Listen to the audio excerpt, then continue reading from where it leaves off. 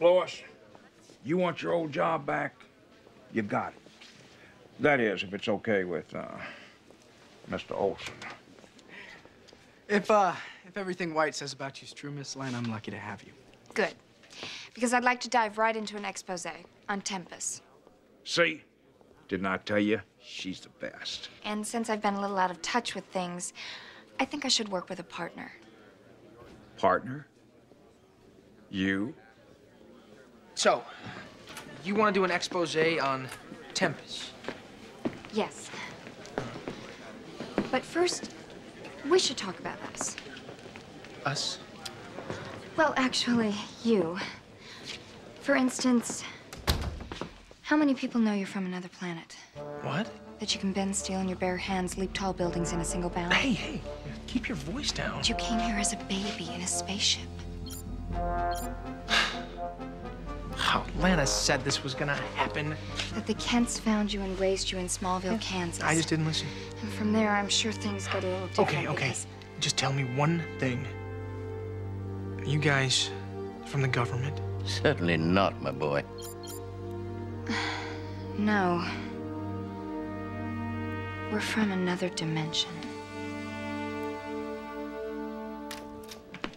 I'm sorry. I, I just, I just, I have a lot of trouble believing all this. What? That uh, Tempus is a criminal, or that he's H.G. Wells, or that we're from a parallel metropolis? No, th that this other me flies around in tights. Well, your mother made them. My mom. Martha Kent. But, but the Kents died when I was 10. Oh, Clark, I'm sorry. Who raised you? I kind of just bounced around. It's okay. It happened a long time ago. I'm fine. Are you?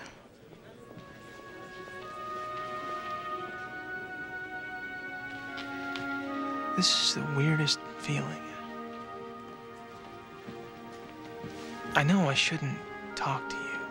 I know that I should just walk away, but What? I can't. Eureka! It worked! The tracking device. It's locked onto Tempus's transport.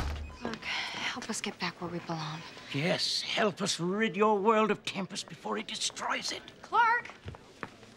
It's 703. Huh? Oh, oh, uh, Seven, of course, your, your parents. Uh, we, we were just, Working on a story. Together? uh, yeah, Perry, Perry, Perry teamed us up. Did he? Uh, but, but we can take point while you uh, deal with your wedding. I, I know how overwhelming that can all be. Just promise me we'll meet up later. Um. Let's go, Clark. Clark, I, I'll catch up to you later. great. I don't like having to come and look for you. You know how Dad gets when you're late. I'm not sure, but I think I hate her. Mm-hmm. No, it was